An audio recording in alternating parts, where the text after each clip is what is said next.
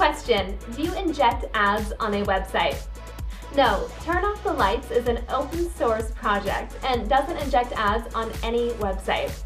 Turn Off the Lights is a unique browser extension that is used by more than a million users to improve his online video experience.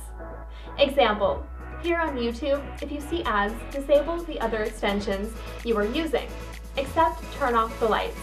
If you still have this issue and you are a Google Chrome user, use the Chrome Cleanup tool. This will scan and remove software that may cause problems with Chrome. That's all. Did you find this video helpful? Press thumbs up and don't forget to connect with us on Facebook, Twitter, and Google+. If you're not subscribed, go subscribe to our YouTube channel.